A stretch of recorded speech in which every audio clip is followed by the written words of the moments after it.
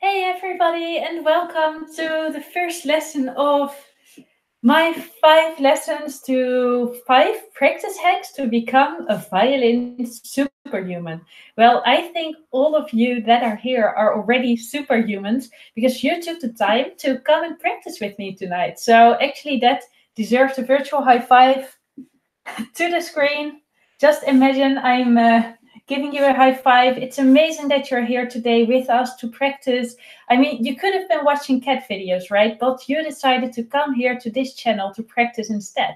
So I'm so proud of you. So right now I'm going to have a look in the chat and I'm going to see who is all there today to see who I'm talking to. So wait a second, I'm just trying to figure out how to see my live chat. I Hmm, how is this working? Oh, yes. Okay. I should be seeing the chat now. So let me know in the comments where you are from, from which country you are joining this lesson today. Hmm. Still trying to look for the chat. Bear with me, everybody. I, I will find the chat. Don't worry. Um, oh, I can see there's, oh, there's, wow, that's amazing. I see that there's 20, 55 of you watching today. And now I also found the chat. So I can actually see what you are writing to me.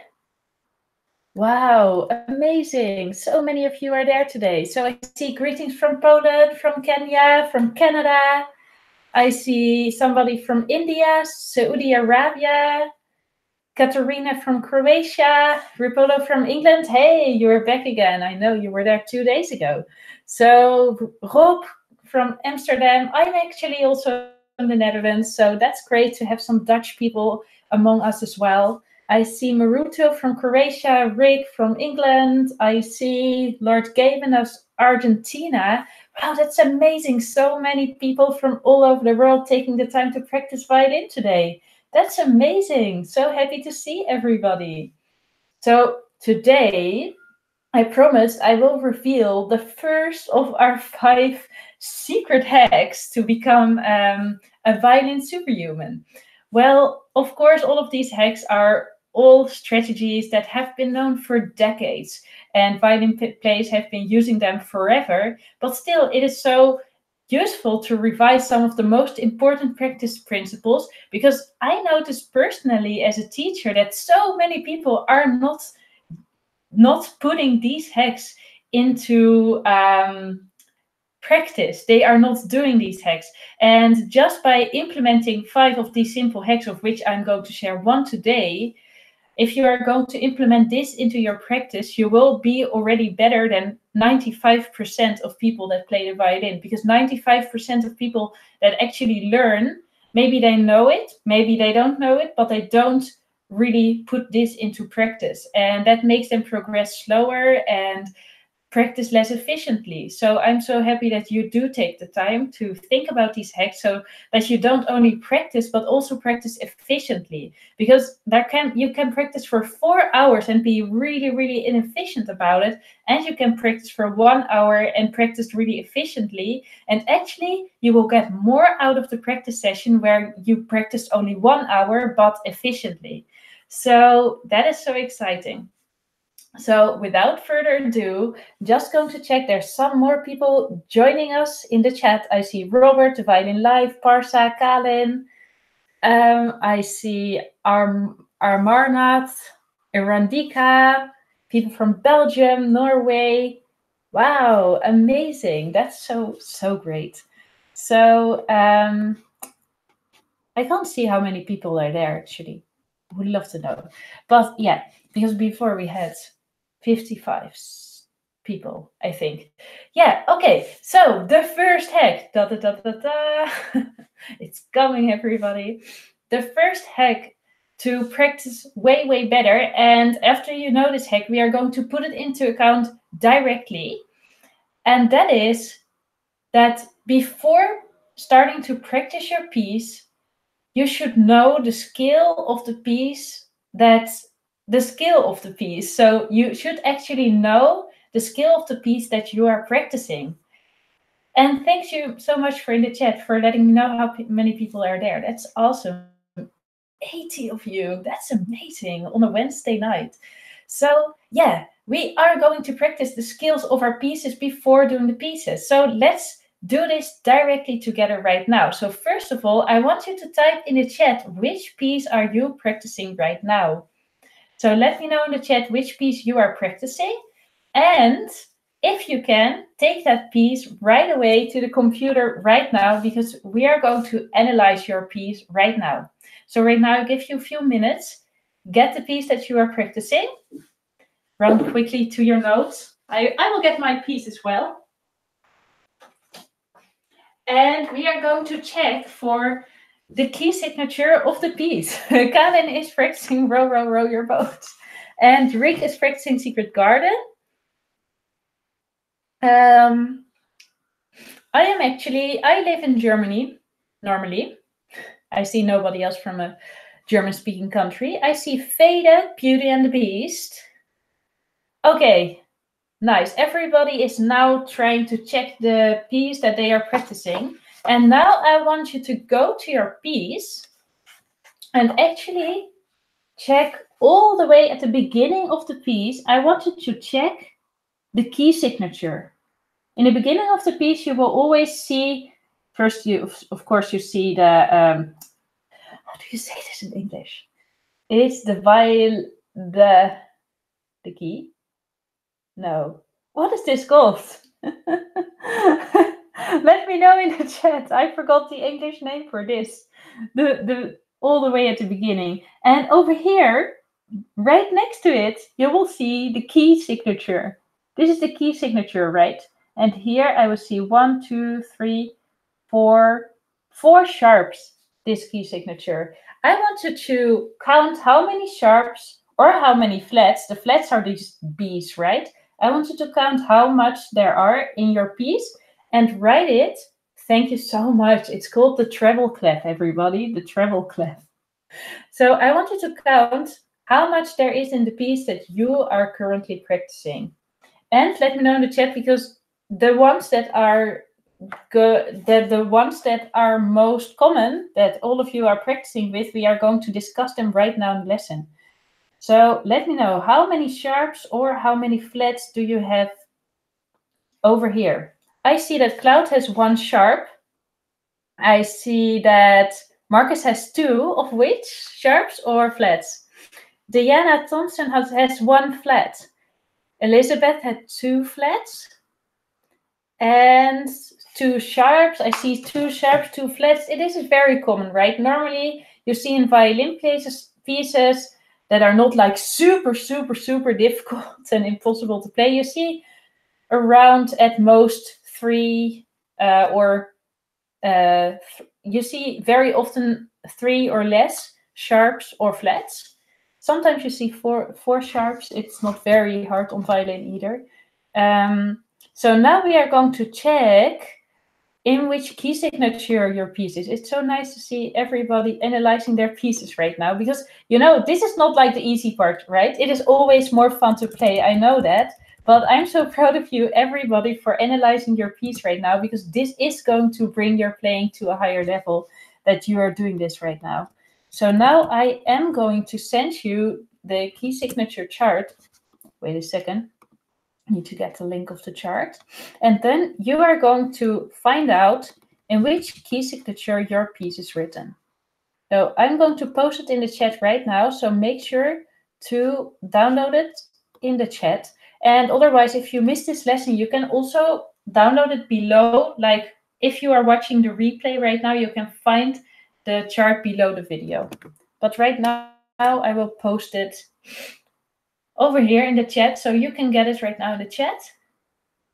And after you've downloaded this, I want you to say which you you will see uh, two kind. Wait, I will show you. Um, I can actually show show my screen to all of you. So I will actually show this right now. Mm, bro, I'm going to share my screen. Da, da, da. Thank you for your patience, everybody. And almost there. Okay, here it is. Can you see my screen, everybody? You should be a you should be able to see the chart that I've just sent you in the chat. Let me know if you can see it. Okay, so right here you will see the circle of fifths and this is what we will be using to check in which scale the pieces that you are actually practicing right now. Over here you will see the red letters and this actually says in which major scale the piece is written and here the green letters show in which minor scale the piece is written. So right now I'm not going to go into it. Um, if your piece is written in major and minor, just very quickly, you can check the last note of your piece. And normally that note will tell you in which scale it is, because normally it ends on the note in which the scale is. So for instance, if the piece is in A minor, the piece will normally end on an A. And if the piece is in C major, the piece will normally end on a C. But right now, we are going to check in which major scale your piece is written. So if you're not sure if your piece is written in major or minor, just check the chart right now and let me know in which scale your piece is written. You need to analyze this right now. And you can find the scale chart over here. I will send another download link because some people say they can't find it. Okay, so I actually see people that are G major key signature. Cloud is having a piece in G major key signature. Then I see Elizabeth, who is playing a piece in B flat major. That's indeed correct. Two flats you said before. E major, Traitor, Leroy in B minor, TS in G minor. And those here as well. I just, I just, um, I, I I will stop screen sharing right now. I, I just actually, though, though I just checked your video and uh, I've just created a reply for you, by the way. Yeah, because in the Academy we have video replies. So yeah, uh, I see people G major, A major, D major, again. Okay, wow, there's a lot of G major happening over here. So now we know the scale of our piece before practicing the piece, we are going to practice the skill because that is the, the basic principle that I want you to learn today. If there's one thing you take away from this lesson, it would be this, that if you want to practice a piece, that you actually practice the skill that belongs to the piece at the same time that you are practicing the piece, especially if the piece is rather challenging for you. So maybe you are practicing a piece in G major. So that would mean you would have to practice the G major scale next to practicing the piece at the same time. And that will actually make it easier to play every note in tune. Because if we know the scale and know where all the fingers go, we will play everything automatically more in tune and it will get so much easier to learn the piece correctly. So now maybe we can go over some skills together so you know what to practice after this lesson. So who doesn't know how to play their own skill? Let me know in the chat. Let me know I don't know how to play and then write the name of the skill that you are practicing your piece in and then we are going to discuss the skill together and practice it together. And even if it is not a skill that your piece is currently in, it is still super useful to practice skills. Skill practice is always good, right? we all know that we don't really really really want to know it because sometimes we prefer to play pieces but it is always useful to practice our skills so now i'm going to check the comments Karin is saying row row row your boat is an f sharp sharp minor diminished well that's that's interesting that's an interesting row row row your boat version um, let's see who else. Okay, so C major. Yes, that violin is actually an A minor. The and or yeah, the same notes are in the scale of C major indeed. Actually, if you let check the last note of the piece, set violin, you will see that it is an A. Okay, who wants to practice a skill of their piece that they are unfamiliar with? Let me know in the comments which skill you would like to practice together. And let maybe maybe write in the comments like I would like to practice dots. So I I and then write the name of the skill so I know you actually would like to practice that skill and not only say in which um, skill your piece is. Okay. Okay. D major. D major. Okay, somebody would like to practice the D major skill. Now we are going to try to practice the two octave D major skill to challenge both beginners and more intermediate players. Okay, we are going to practice D major skill together right now. I'm going to show the easy version and the harder version. So we are going to practice both. So get your violin right now, and we are going to start with the D major skill together. Okay, it does it. The lighting isn't as good as before in this room, but I think it's still you're still able to see it, right, when I play. So the first note of the D major scale, D-Dur, indeed in German, is the open D string. So can actually everybody play an open D string? I think we all can, right? So make sure to play your open D string right now. Every second of practice is another second closer to getting good at violin playing. So no excuses not to get your violin right now. Yes, I'm talking to you. I know that there are some people sitting there that are not having their violin right now. So get your violin right now if you feel like that's you and practice with us right now. So let's play D. And does my D actually sound correct for everybody in the chat? Because there have been some sound issues before. Let me know if the D actually sounds correct, yes or no. And meanwhile, get your violin quickly and tune your violin so you will actually be able to join right now. Um, let me know if the if the D sounds correct. Okay, yes. Oh, Marlene says the D is correct. Great. Yeah, perfect, says Cloud. Okay, we can go on with the practice session. Okay, so D. Started on the D. Now, what is the next note? That is the first finger on the D string. And actually, if you are in Julia's Violin Academy, if you are a student, you should probably know this. So actually, I want you to try to play this completely by heart and think for yourself what the notes of the skill are before I am actually saying it. So now I'm going to practice D1. Now we are going to place the second finger on the D string. Is this a low or a high second? Think for yourself. High second, indeed. For the D major scale, we play a high second finger on the D string. Let's play it. Third finger is a regular third in the D major scale. Then we are going to play the open A string. And play with me right now, right? Now place your first finger on the A string and play first finger. And now is the second finger high or low in the D major scale? Hmm, think about it for a second yourself. Indeed, it's high. So let's play the high second and three.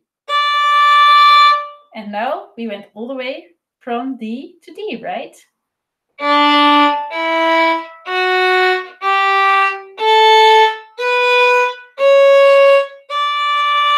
we started on the D and we ended on the D. D, E, F sharp, G, A, B, C sharp, D. Great, that are all the notes of the D major scale. Now we are going to make it a little bit harder. So if you are a beginner, this is the skill you should practice. But if you're a little bit more advanced, you should practice a little bit more. We go on over here. Instead of playing the third finger over here, we are going to use our first finger. So play the D with your first finger. So we are in third position over here. As you see, the first finger is positioned in third position. The first finger is where the third finger normally is. Then we are going to play one, two, three, four, one, two, three, four. Ooh, that's a little bit more difficult, right? Especially for the beginners among us, this is going to be difficult. So D, somebody asked me to call the note names. E, F, G, A, B, C sharp, D. Okay, we did it. Let's go back together. Four, three, two, and by the way, if you are like in beginner level, but you feel like you couldn't use some extra challenge, just play the third position skill as well with us. Two, one, four, three, two, one. Okay, go back to first position. Place your second finger on the A string, high second. One. A or fourth finger on the D string. Let's make it more difficult for ourselves. I'm going to play fourth finger on the D string. Three, two, one. D. Hey, welcome, Iva. Even though you're at work, you're joining us. Okay, so recap of the D major scale. What is really handy is to, you don't have to remember every specific note, but just remember the finger pattern. So on the D string, we play one, two, three, and we actually play a high second finger. And on the A string, also one, two, three, high second finger and regular first and thirds. So do you see the pattern is the same on the D string and the A string? So actually a pretty easy skill, right? And then in first position, in third position, we are also playing the same pattern on both the A string and on the E string. Okay, so who? So what is the next skill we will practice together? Let me know in the comments. Which skill would you like to practice next? So, so why don't I get a shout out? No, no idea, Maria. Maybe uh, it is completely random who gets a shout out or not. But if you have a question, let me know, and I will definitely uh, give you a shout out and answer your question. Okay, what to do with the E and the G string? Yeah, that's a very good question. So actually, in this case, we are practicing the D major scale, and below the D, there's actually no D anymore on the instrument because D, C, and then we have B and A and G. And it doesn't go any lower. So that's why we start at the lowest D possible for the scale. And that would be the open D string or the fourth finger on the G. Because the, the, the, this is also a D, right? The fourth finger on each string is the same as the open string above.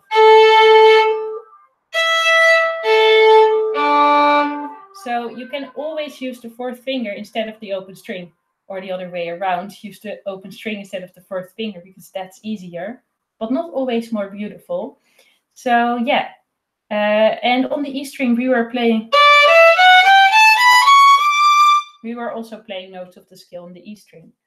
Okay, now I'm going to check for comments. So who, let me know in the comments right now, who actually checks the scale of the piece before practicing the piece? And who doesn't do that? Be honest right now. It's nice to be honest. I'm not going to give you shout out if you don't, but it's just um, really really nice to see actually like who is who is planning to do this after this lesson who didn't do it before so actually look up the scale of the piece that you are practicing and actually being aware of that before starting your practice session so let me know in the comments and i also see some suggestions for the next skill there's quite some people that want to practice f major So probably I will I will practice the F major skill next with all of you. And I, am just going to read some comment. How high can we go on the E string? Well, we can go really, really high on the E string, but it's going to like um, I I I think the highest like you can go all the way over here. this is how high you can go, but it's really, really hard to make it sound good. I can actually show you that actually I find it really, really hard on my violin, but it is also like it depends a little bit on some violins. It is even harder because the strings are far away from the fingerboard, like with mine. If the strings are closer, it's actually a little bit easier. So, but I can show. It's not going to sound very good, right? You can to to get a good sound over there is really really hard. So, um, but you can do it. You can probably even do this but it sounds even, that sounds really, really bad. That's actually not in pieces. Okay, I'm going to check the comments right now. Uh, I want to learn third oct uh, three octaves of D major. Yeah, we can do that later maybe. Who wants to learn three octave scales? Let me know in the comments. Who is like, that is way too easy what we are doing right now. Let's make it at least three times as hard. Let me know. three octave skills for you. Um, okay. Everybody is, it's hurting. I, I do. Okay, that sound woke up my dog. Oops, so sorry, everybody. Okay, yeah, I see some people that actually say, I certainly plan to do it. Angelina, for instance, um, I never thought of it before. So it's great to see that some of you actually already did the skill thing. And uh, that is amazing. Thumbs ups for you. And if you didn't do the skill, the looking up of the skill before, that is amazing that I see so many of you are going to implement this in the future. Now you know it. So, okay, so let's go with three octaves. A lot of people want to do three octaves. Okay, let's just do it, right? Actually, um, why not? so I think the easiest three octave skill is the G major skill. So we will start with that because I know so many of you never tried a three octave scale before. So then it's probably not as good to start with the D major scale. It's harder than the D, G major. Um, now I'm going to start it. So get your violin right now and join us for the three octave scale. We are going to start on the open G string. Then we are going to play G1, 2, 3, D, one on D string, two, three. And make sure that each note is beautifully in tune. The scales are not to are not about the positions, right? It's not to or something like that. It's not like how can I play all the notes fast. It is how can you play every note most beautiful in the most beautiful way possible. So the three octave scale is where you play from G to G to G. So actually you play three octaves of the G behind each other. So G, A, B, F sharp, G. This is the first octave, right? Now we're going to do the second octave. A. Let's start it, do it together. Play the A string right now, everybody. First note, first finger on the A. Low, second finger on the A. Now switch to third position. Your first finger will be at the place where you would normally place the third finger. And play it. Two. Three. Four one, two. And right now, if you are chatting, get your violin and join us. Watching you. Okay.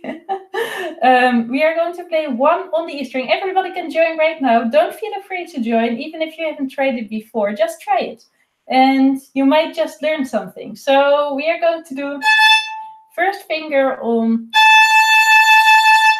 first finger in third position on the E string. Try it right now. Two. Now we are going to switch to fifth position. So we are going to move our first finger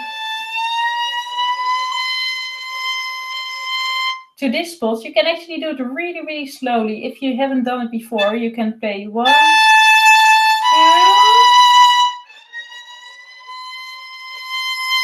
and just try to find it. And I see some dogs are getting hurt in this process of practicing a three octave scale. So make make sure your animals are safe now because we are going to go up even higher. Okay, let's play one in fifth position, two, three, four, and now we are going to stretch our fourth finger. We already love our fourth finger so much, right? That why not play it again? And everybody is crying in the chat right now because of the high tones. but actually, this is not not not even that high yet. It can go way higher, right? We didn't use the full range uh, yet. So I see some dogs left the left the chat now. this was happening. Okay, let's go and play the fourth finger over here. We are going to play the scale backwards. So now we are going to de-stretch our fourth finger. the fourth finger. Four.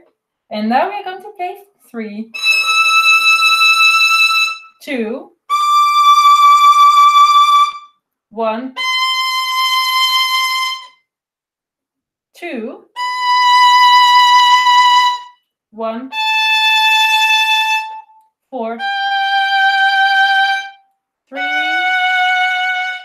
and on two, one. Everybody that left, now jump in again because we are going to back to first position, so you can join again. Second thing on the A string, everybody. High second, get your right in. Three, two, one. Oh, we play a low second finger on the A string. One, four, three, high two, one, four, three, two, one, G. And Karen Beersek says, oh, now I understand why the D is actually harder than the G. Yes, because it goes even higher than the G3 octave. So definitely even harder. Um, so who wants to practice G major 3 octave again? What, what, what skill do we want to practice next? Let me know in the chat. And there's even people joining without the violin today. That's awesome. That's a sign that maybe you are destined to play the violin too one day if you are actually visiting this chat uh, instead of one of the other thousands of channel on the internet. Um, let's see. What are we going to practice next? What do you want to learn? What is the next skill? Beginner or hard version? Let me know. Okay, I see some quite some skills. Um, F major was quite popular, I remember, before quite some were writing F major. So let's do that together right now. Okay, get your violin. We are going to place our low second finger on the D string. Okay, low second finger on the D string. Everybody ready? Okay, we are going to play right now. Okay, F, first note. Three on D. A. One. low first finger, low second finger. Now, let's see. We are going to do beginner version. Third finger and E string. Low first finger on E. Low first finger on E. Come join us if your violin is still in the case. Get it right now. E. Third finger. Low. Second finger. Low first finger. A. Three. Low two. Now, actually, this is an interesting skill because as you noticed, we always use the low first finger instead of the high one, right?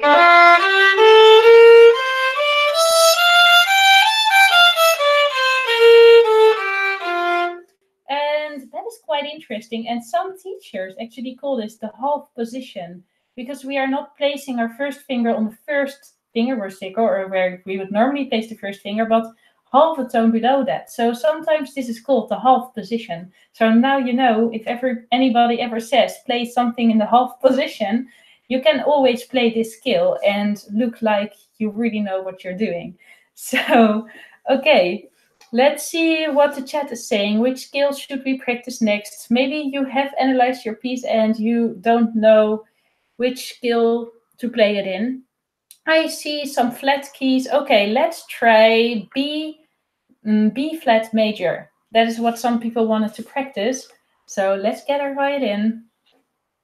Low second finger on the G string. And this is where we start, right? So get your violin. Low second finger. Everybody ready? Okay, I see it's it's pretty quiet in the chest, so people do actually take their violin. That's great. Okay, low second finger and go. Third finger. I'm going to challenge you. Use your fourth finger right now. If this is too hard, you can use the open string. But try the fourth finger. Four.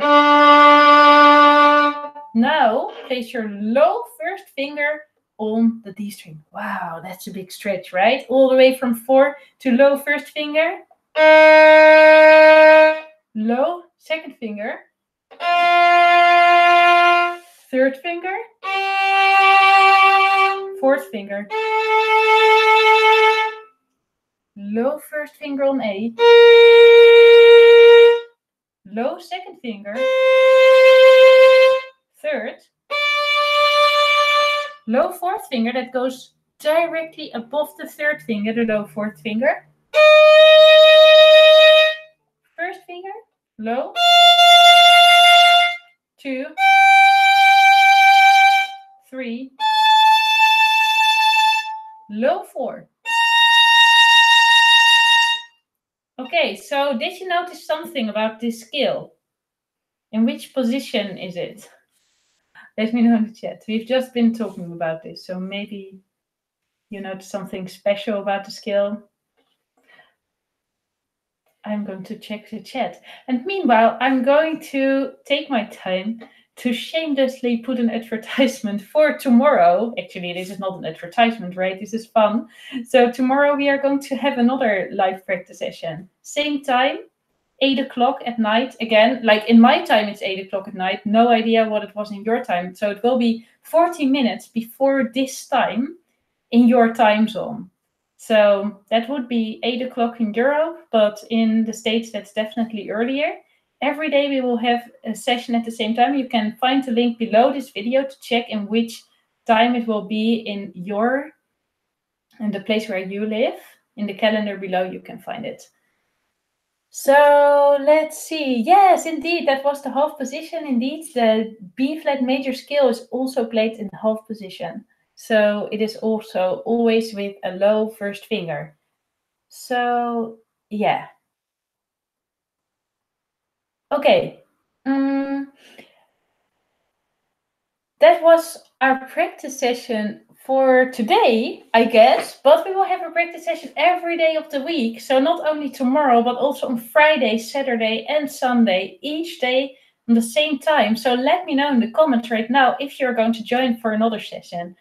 By the way, I'm also proud of all of you that showed up and practiced the skills today. That's a great time because sometimes we feel like, oh, it doesn't really matter. You can practice forever and not improve. But if you do this consistently on a consistent basis and you practice skills every day for a few minutes or for half an hour, like we just did this lesson, you will really, really see big a big difference after a few years. So keep up the good practice. And if you are motivated to keep up with this good start of the week or of the end of the week, I guess, definitely come and join us again and practice again with us because we will do some really fundamental, amazing practice sessions that will help really just anybody actually because they we are practicing such fundamental principles that it doesn't really matter which level you are and you will benefit from practicing skills no matter if you are uh, just starting out or practicing for a while already.